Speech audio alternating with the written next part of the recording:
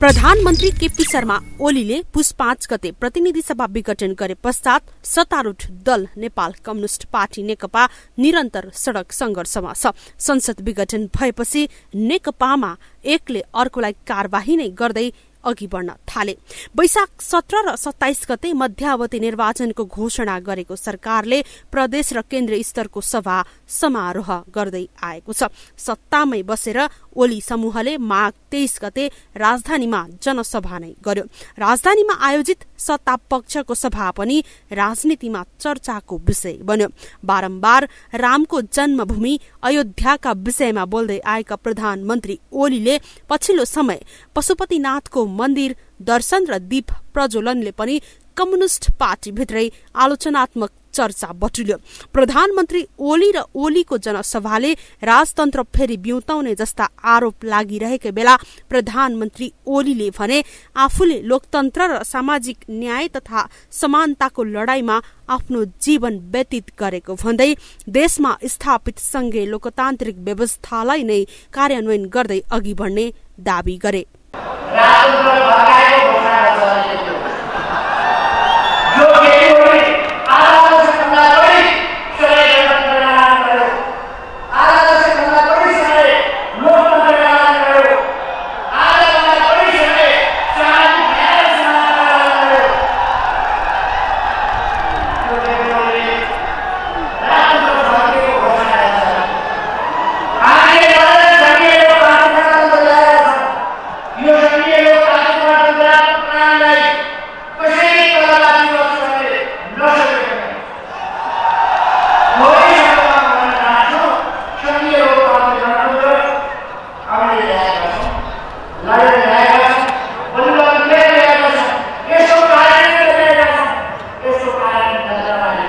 यसअघि माघ नौ गते नेकपाले पनि काठमाडौँमा प्रतिनिधि सभा विघटन विरूद्ध वृहत विरोध सभा गर्यो।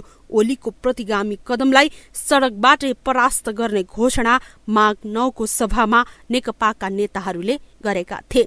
ओलीले माफी मागेर आफ्नो कदम सच्याउनु पर्ने समेत उनीहरूले सुझाव दिँदै आएका थिए तर प्रधानमन्त्री ओलीले सोही दिन नै जनसभा कस्तो हुन्छ माघ तेइस गते हेर्नु भनेर प्रचण्ड नेपाललाई ठाडै चुनौती दिए।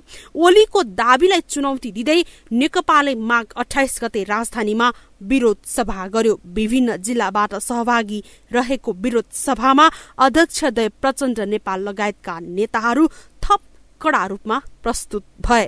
हाम्रो संवैधानिक निकायहरूले केपी ओली जस्तो एउटा निरङ्कुश र लोकतन्त्र विरोधी व्यक्तिको समकको भरमा उसँग डराएर फैसला गर्छन् भनेर म पत्याउँ त?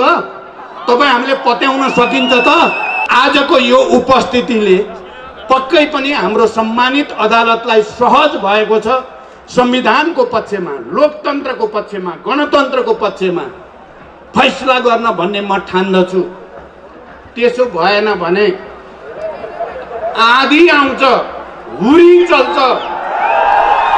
कसैले ठान्न सक्दैन नेपालमा। मलाई थाहा छ। तपाईँ लाखौँ जनताहरू हुनुहुन्छ। शान्तिपूर्ण विद्रोह। एउटा ग्रिन रिभोल्युसन भन्छन् आजकल। ग्रिन रिभोल्युसन हुन्छ नेपालमा। शान्तिपूर्ण क्रान्ति हुन्छ अर्को। निर्वाचन आयोगमा गएर केपी ओली धम्काइरहेका छन् अस्ति गएर धम्काए। धम्काएर के भने भने म पहिलो अध्यक्ष हुँ। केपी ओली कहाँको पहिलो अध्यक्ष हुन्? यो कम्युनिस्ट पार्टी नेकपाको हो कि ओली गुटको पहिलो अध्यक्ष हुन् ओली गुटको होला बालकोटको होला। तर नेपाल कम्युनिस्ट पार्टी नेकपाको पहिलो अध्यक्ष होइन हुनाले यदि यस्तो हुन सकेन भने यो देशमा अनर्थ हुनेछ। मैले सङ्केत मात्रै गरिरहेको छु। जबसम्म प्रतिनिधि सभा जनताको आवाज़, संविधानको व्यवस्था न्यायोचित निर्णयको आधारमा संविधान सम्मत ढङ्गबाट प्रतिनिधि सभाको पुनस्थापनाको यो हाम्रो आन्दोलन निरन्तर अगाडि बढिरहनेछ। हामी केपी ओलीलाई भन्न चाहन्छौ? मिस्टर केपी ओली तपाईँका खुट्टी हेर्दै पत्यायौँ। तपाईँका खुट्टी हेर्दै पत्यायौँ। अब तपाईँले दुई तिहाई होइन। तपाईँले जमाना जफत हुनुहुनेछ। दुई वर्षपछि अब दुई वर्षपछि यो देशमा चुनाव हुन्छ। त्यो दुई वर्षपछिको चुनावमा हेर्नुहोला मेचीदेखि महाकालीसम्मका एक सय पैँसठी सिटहरूमा तपाईँको जमाना जफत हुँदैछ। हामी आजै घोषणा गर्न चाहन्छौँ संविधान जारी भएपछिको पहिलो संघीय निर्वाचन पूर्व चुनावी तालमेल गरी साझा घोषणा पत्र मार्फत निर्वाचनमा लागेको नेकपाले दुई हजार पचहत्तर जेठ तीन गते एकता घोषणा गरेको थियो। तात्कालीन नेकपा एमाले र तात्कालीन माओवादी केन्द्रबीच भएको एकताको तीन वर्ष नपुग्दै फुटको संघारमा पुग्दा नेकपाका नेता कार्यकर्ता र आम नागरिकमा समेत निराशा छाएको छ। अन्तर्राष्ट्रिय जगतमै कम्युनिष्ट आन्दोलन कमजोर बन्दै गइरहेको बेला नेपालमा कम्युनिष्ट पार्टीको झण्डै दुई तिहाई बहुमतको सरकार बन्नु विश्वव्यापी रूपमै चासोको विषय बनेको थियो। त्यसो त सत्तारूढ नेकपा फुटको अधिकतम निकटमा पुगिरहेकै बेला नेकपा क्रान्तिकारी नेकपा विप्लव समूह नेकपा ऋषिराम कटेल र वैज्ञानिक समाजवादी कम्युनिष्ट पार्टीले संसद विघटनको विरुद्धमा संयुक्त रणनीतिक मोर्चा घोषणा गरेका छन्। संसदीय व्यवस्था असफल भइसकेको छ। यो ओलीको यो प्रतिस्पर्धा विघटन मात्रै होइन। टोटल पुरै एउटा संसदीय व्यवस्था नै असफलताको द्योतको विपरीत घटना। असफल भइसक्यो संसदीय व्यवस्था। अब संसदीय व्यवस्थाले काम गर्न सक्दैन भन्नुहोस्। भन्ने? समाजवाद? समृद्ध नेपाल र सुखी नेपालीको कुरा गर्ने? तर सिरान हाल्ने साम्राज्यवादी नवौदारवाद ढाँट कुरा। टिक्नु सक्दैन त्यस कारणले यो के हुनुहुन्छ भने संसदीय व्यवस्थाको असफलताको अभिव्यक्ति लामो समयको राजनीतिक अस्थिरतासँगै मुलुकमा बहुमतको सरकार निर्माण भएपछि लगानी मैत्री वातावरण बन्ने र यसले आर्थिक समृद्धिको बाटोमा देशलाई अगाडि बढाउने आश गरेका भए पनि अहिले पुनः त्यसो हुन सकेन।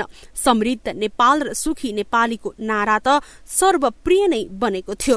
तर पाँच वर्षको स्थिर सरकारको नेतृत्व गरेका प्रधानमन्त्री ओलीले संसद विघटन गरेर मुलुकमा राजनीतिक अस्थिरता भने छाएकै हो।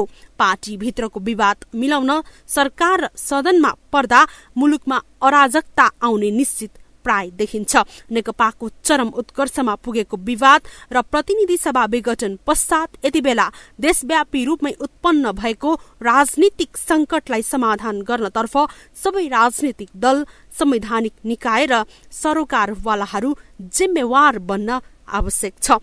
क्यामरा पर्सन ध्रुव अधिकारीका साथमा एबीसी रिपोर्टर सपना धामी काठमाडौँ।